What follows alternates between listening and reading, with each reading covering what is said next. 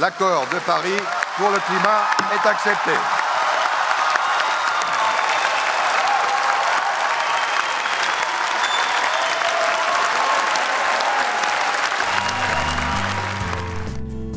Il confirme notre objectif central, vital même, de contenir l'augmentation de la température moyenne bien en deçà de 2 degrés et de s'efforcer de limiter cette augmentation à 1,5 degrés, ce qui permettrait...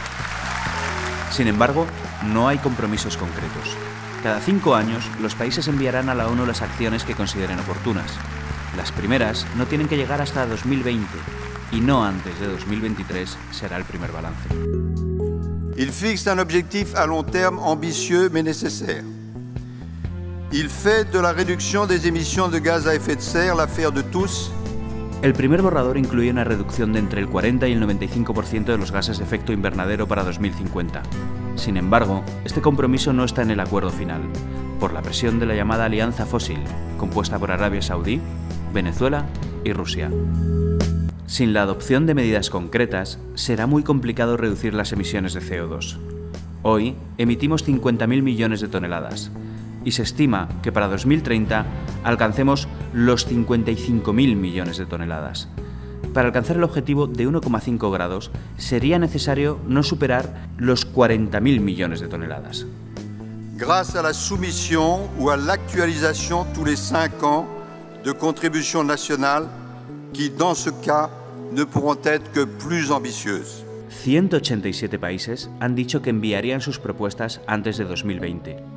Sin embargo, potencias emergentes como China o la India pueden, según este acuerdo, asumir menos responsabilidad en la reducción de emisiones que los países desarrollados. Por otro lado, Estados Unidos, que junto a China es el país más contaminante, presionó para cambiar el tiempo verbal en uno de los artículos del acuerdo, donde ponía los países deben, se ha puesto los países deberían, que es condicional y por lo tanto no vinculante. Le projet d'accord proposé est différencié, juste, durable, dynamique, équilibré et juridiquement contraignant. Nadie ha puesto en duda la buena voluntad de los 195 países asistentes, pero no serán sancionados aquellos que incumplan las medidas que ellos mismos propongan ante la ONU. Además, ningún país hará nada, al menos hasta la primavera de 2016, cuando el acuerdo tenga que ser ratificado por todos.